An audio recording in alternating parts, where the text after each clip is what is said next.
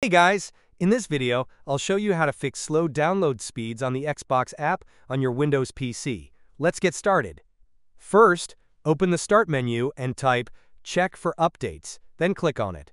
Scroll down to Advanced Options, then find and click on Delivery Optimization.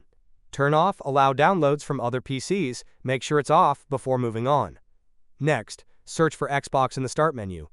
Right-click on it and select App Settings. Scroll down and click Terminate, then click Repair and wait for it to load. If that doesn't work, try clicking Reset twice. Finally, open the Start menu again and type CMD. Right-click on Command Prompt, choose Run as Administrator, and click Yes. Type ipconfig forward slash flush DNS and press Enter. Then type netsh winsock reset and press Enter again. Now, restart your computer. With these steps, your Xbox app should download at a normal speed. If this video helped, please like and subscribe for more quick fixes. Thanks for watching.